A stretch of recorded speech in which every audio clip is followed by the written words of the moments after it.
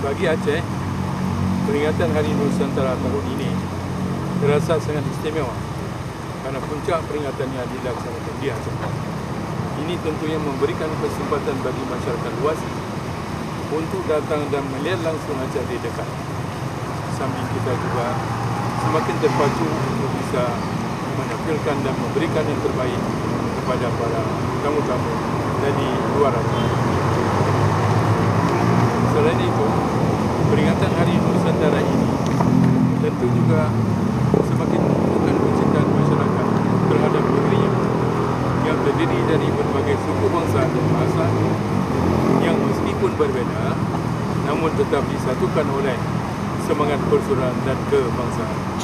Ini pula yang sedang giat-giatnya kita gelorakan di Aceh yaitu membangun Aceh dengan semangat ukhuwah, persatuan dan perdamaian. Harapan saya kita dapat memberikan yang terbaik selaku tuan rumah.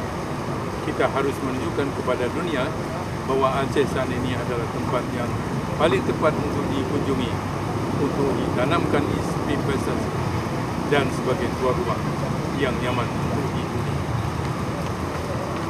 Maka dari itu, kepada seluruh elemen masyarakat, saya mengajak, mari kita tunjukkan kepada dunia bahawa pemulia jamiah adat kita ini.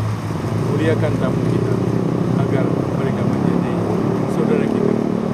Mari kita sukseskan penyelenggaraan Hari Nusantara tahun 2015 di Aceh.